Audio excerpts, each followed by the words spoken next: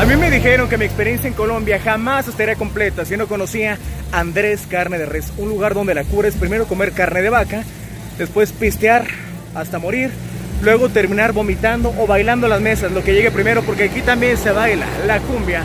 Acompáñenme a conocer Andrés Carne de Res.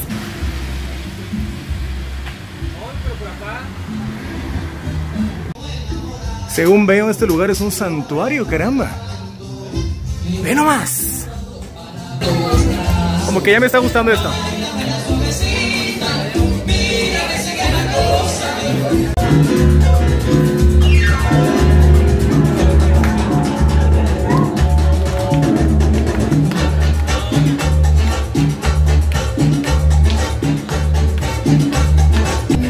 Aquí las cervezas se las sirven con una mariposa. Estos son unos patacones, dice Jenny. Son tostones con queso gratinado. Es plátano con queso gratinado. Y hogado, que es el tomate guisado. y salsita de tomate. ¡Ay, un patacón plátano gratinado! Eh, Lucrecia, si yo te digo México, ¿qué es lo primero que piensas? Frida Kahlo. ¡Frida Kahlo, bravo! ya llegó una amiga. Y vean, ya llegó lo bueno.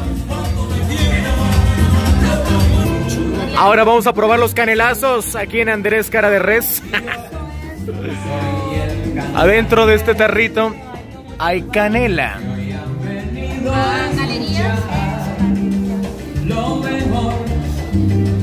Me siento hasta saludable, siento que estoy tomando una preparación de mi abuelita.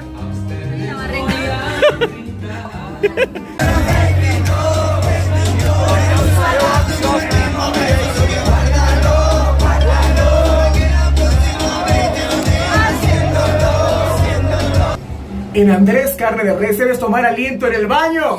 Es verdad, qué ambiente, wow.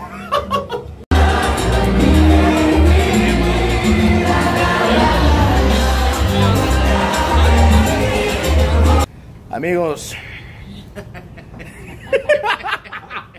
es que pasó algo muy extraño. La noche de Andrés Carne de Res terminó con unos canelazos. Comimos muy a gusto. La cuenta fue de 75 dólares por persona. No es un lugar barato. ¿A qué grado terminó nuestra pisteada como buenos mexicanos? Que somos los últimos en el lugar. ya se fueron todos. Ya es de madrugada y nos están corriendo. Salud desde Colombia. Y así pisteamos los mexicanos. Y una colombiana que sobrevivió. Gracias.